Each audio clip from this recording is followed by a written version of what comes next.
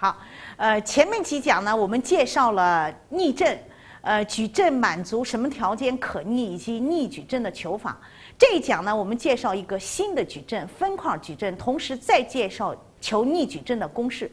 分块矩阵定义：我先给一个矩阵 A，然后呢，我在这个矩阵当中啊加几条横线、竖线。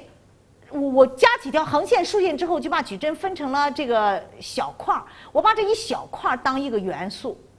再写成一个矩阵，这个矩阵我就把它叫做分块矩阵。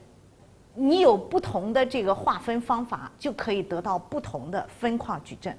这个分块矩阵呢，直观上说就是它的元素，就是分块矩阵里头的这个元素也是矩阵。呃，当然特殊的情况下，它有的时候也是数。比如说你按这种分法，这个 A 二一就是 A 三一就是一个数了。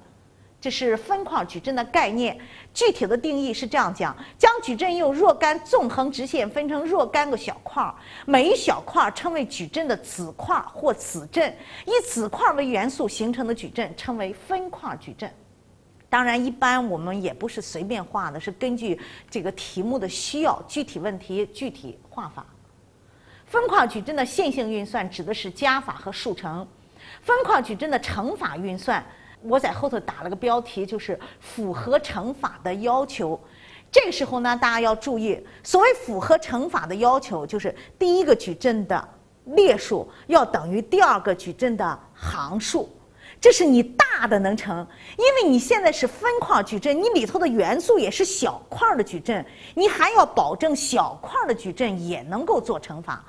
啊，所以我就不具体的去说了，因为这个东西要具体的去说呢，说起来很啰嗦，也有的时候你要说的不严格呢，还会有就是给你留下不好的这错误的印象，所以我就说了，符合乘法的要求，你具体的去做的时候就能体会到这一点了。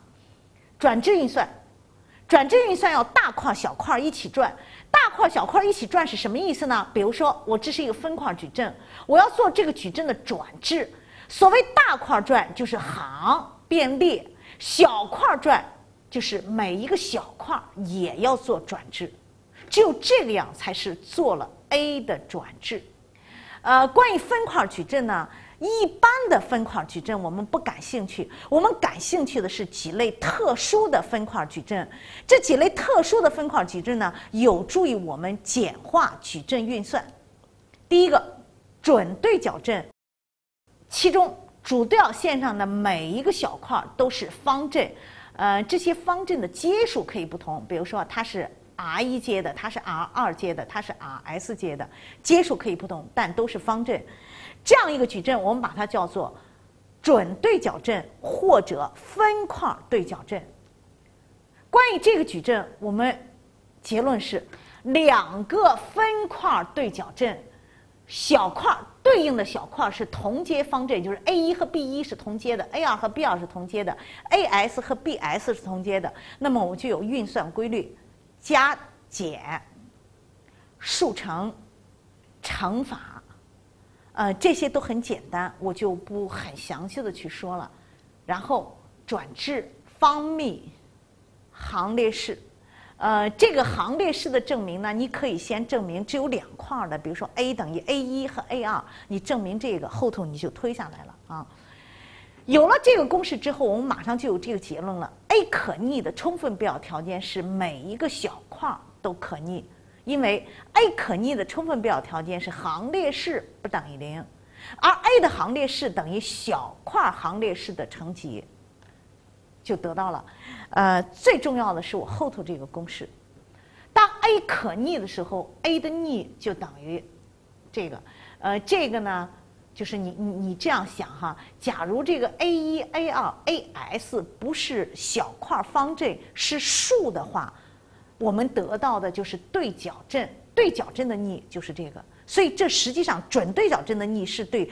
对角阵逆的一种推广，当它是小块的时候，这个也成立。这个公式的证明很简单，你就拿这个矩阵和 A 去做乘法，乘完了等于单位阵就行了。它的质等于小块质的和。牢记这些公式。举一个例子，求 A 的行列式质及逆。呃，一般人家给你出题的时候呢，就是这样给你 A，要不要分框是你自己做决定的。那么这个题我们看一下呢，我肯定给它分框，我就把这个矩阵分成了准对角阵，行列式就等于两个小块行列式的乘积，第一小块的行列式是一，第二个是三，所以整个的行列式的值就是三。行列式等于三了，不等于零，所以它的质就出来了，满质矩阵。我们做它的逆，逆带公式是这个，先做它的逆。我说这个口算就可以，行列式的值是几啊？一，然后做 A 星，这两个相同就不用交换了，所以只要加一负号就行了。这个行列式的值是三，所以你要除一个三分之一，是吧？这就是逆。呃，其实做这个的时候呢，你只需口算就可以了。如果没有这个公式，这是个四阶方阵，一般我们建议你就是对三阶以上的方阵都建议你用初等变换法去做。那你想，你这写十六个数，你下面还要写上一，又写十六个数，那就很麻烦了。所以这个公式提供了求逆阵的一种非常简便的方法。第二个分块矩阵，分块三角阵。分块上三角或者是准上三角，行列式等于这个行列式的乘积，可逆。其实一有了这个公式，马上就知道了，它可逆的充分必要条件是 a i i 都可逆。在这种情况下，我给一个逆阵的公式，a 是可逆的，我说 a 逆就是它，你读读它哈，a 一一的逆，a 二二的逆，这边是。负的 a 一一的逆乘 a 一二乘 a 二二的逆，你好好的读读，看看能不能读出感觉来。这个叫做分块下三角，结论是一样的，它的行列式也等于它，它可逆的充分必要条件也是这个。在它可逆的时候，我们来写它的逆矩阵。如果你读懂了这个公式了，这个就写出来了。你可以自己先写一下，然后再和我对一下，看看你写的对不对。好，呃，可能有同学问了，这个是可逆的，你怎么就得出来这个公式的？我现在告诉你，这个公式我是求出来的，因为 a 是可逆的，我假设 a 逆是可逆的，而且我把 a 逆也做分块，我的分块呢，保证保证和 a 逆的这个分块呢有一个一致性，就是它两个能做乘法，然后 a 乘 a 逆。应该等于，我先给它乘出来，乘完了它应该等于单位阵。那么这样我就得到了四个等式。第一个，我先来做这个，a 二二 x 二二等于 e，a 二二 x 二二等于 e，马上就知道了，x 二二是 a 二二的逆。然后我再来说这个，a 二二 x 二一等于零。a 二二是可逆的，我在等式两端从左边乘上 a 二二的逆，这边乘 a 二二的逆就剩下 x 二一，这边乘完了还是零，所以 x 二一是零。然后我就做这个吧，因为 x 二一是零了，x 二一是零，这项没有了，那就是 a 一一 x 一一等于单位阵。就马上得到了，呃，x 一一是 a 一一的逆，最后我来解这个，我现在就要从这个等式里头把 x 一二做出来，我先给它一项 a 一一 x 一二等于负的 a 一二 x 二二，x 二二已经求出来了，带进来，然后我再把 a 一一给它，就是两边左成一个 a 一一的逆。也就是这样，我把它写一下哈。我们先移项得到，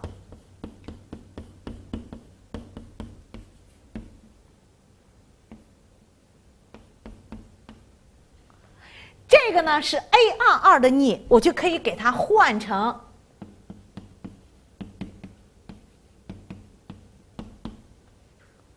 然后我在这个等式两端都左成一个 a 一一的逆。a 一一逆，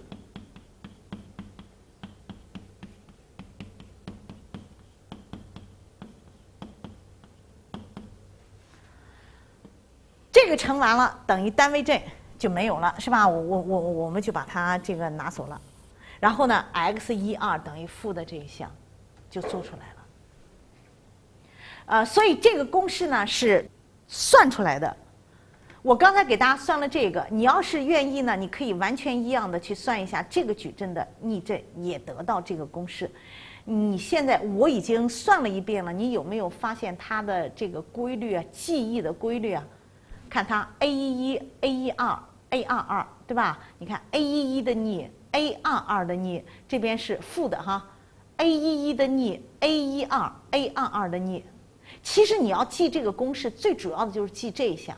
你再看它，它是负的 a 二二的逆 a 二一 a 一一的逆，看出来了吗？记住规律了吗？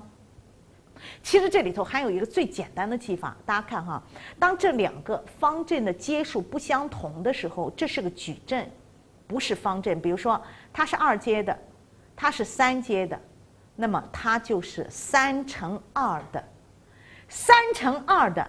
它左边必须是三阶的，右边必须是几阶的？二阶的。